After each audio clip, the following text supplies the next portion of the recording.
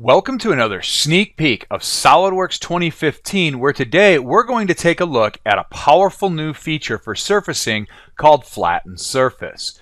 To do this, we're going to be working with this nail pouch. This nail pouch consists of several areas that are formed out of a fabric material. It's important to note that these were not created using any form of sheet metal features. And in fact, when we go into the feature manager tree, we can see that the front pouch was created with a, a lofted surface, a few fillets, and then finally a thicken feature was applied to that. Additionally, there's the side pouch, which was created in a very similar fashion using a variety of surfaces and finally thicken. What we're going to do is switch to a configuration where those bodies are still in their surface form. Here we can see the powerful new capability of the new Surface Flatten tool in SOLIDWORKS 2015.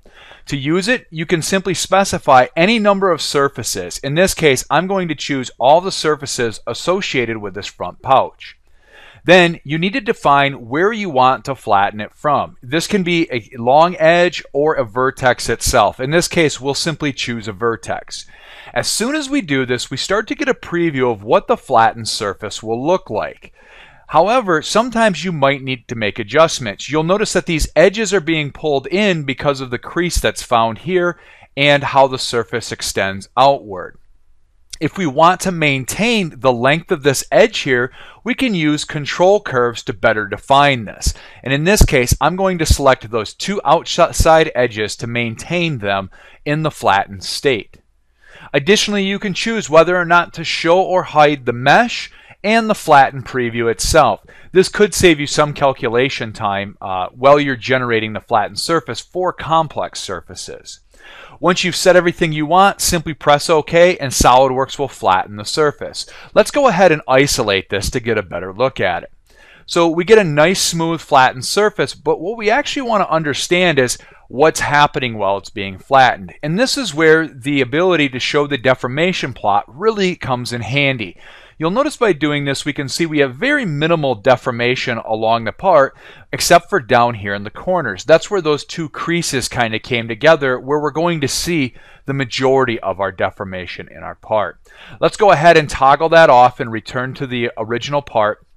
I can I can also hide these bodies individually and that's important to point out. It actually creates a new surface body which you can use to export to DXF for example. We'll take a look at that in just a minute. I want to look at the side pouch, which is considerably more complex when we take a look at it. For this, we're going to again select all the surfaces, and a fast way to do this is to simply right click and say select tangency. Now I'm just going to right click this time to toggle to the entity we want to unfold from and I'm going to choose an entire edge this time. You'll notice when I do this it maintains that edge and unfolds everything in that direction. I'm not going to use any control curves this time, and I'm simply going to press OK. So again, we have a nice uh, flat surface, and if we want, we can take a look at the deformation plot again, and here we can see there's considerable more deformation than what we had before, something we're going to have to take into consideration when it comes to manufacturing. Speaking of manufacturing, we're probably going to want to use this in some sort of a cutting application, whether it be a CNC knife, laser cut, water jet, or whatever it might be. You can right click on any flattened surface and choose to export to DXF or DWG.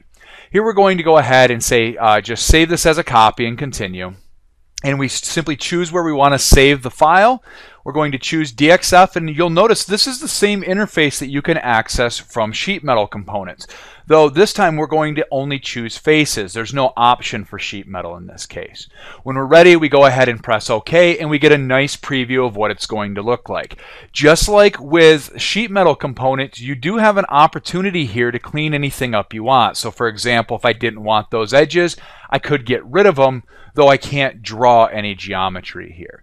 I'm going to go ahead and cancel at this point, but as you can see, SOLIDWORKS 2015 introduces a really powerful new capability to really flatten any type of geometry. It's not just limited to sheet metal components anymore.